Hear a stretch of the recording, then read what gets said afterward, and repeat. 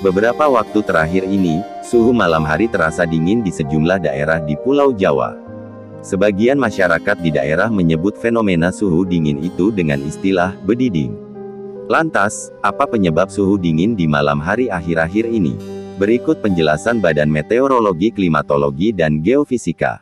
Kepala Pusat Informasi Iklim Badan Meteorologi Klimatologi dan Geofisika, BMKG, Dodo Gunawan mengatakan, suhu dingin dipengaruhi oleh kondisi suatu daerah yang masih mengalami musim kemarau.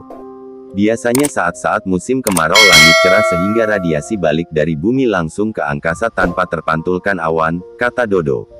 Hawa menjadi lebih dingin, karena radiasi tidak terpantulkan awan, membuat suhu di permukaan bumi menjadi turun. Sementara itu, penyebab angin kencang adalah karena kondisi peraliran angin.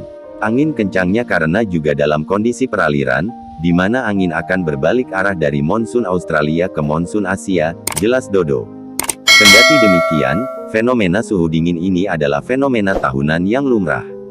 Ia mengatakan, intensitas tingkat dingin malam di tiap daerah akan berbeda-beda. Tergantung tingkat kecerahan awan, lantas kapan suhu dingin ini berhenti. Dodo mengatakan, suhu dingin dan angin kencang akan dirasakan selama daerah tersebut masih mengalami musim kemarau. Ia menyebutkan, Fenomena tersebut akan berhenti ketika musim hujan mulai turun. Sampai jatuhnya musim hujan di tempat tersebut yang sudah diprediksi BMKG, kata Dodo. Musim hujan sendiri diperkirakan pada bulan Oktober dan November tahun 2021 mendatang.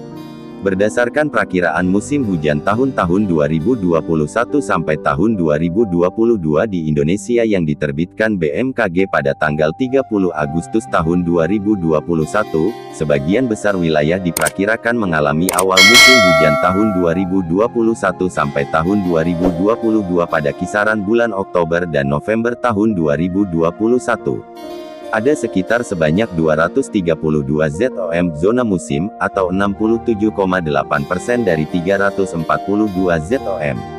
Puncak musim hujan tahun 2021 sampai tahun 2022 di sebagian besar ZOM diperkirakan terjadi pada bulan Januari dan Februari tahun 2022 sebanyak 244 ZOM 71,3 persen.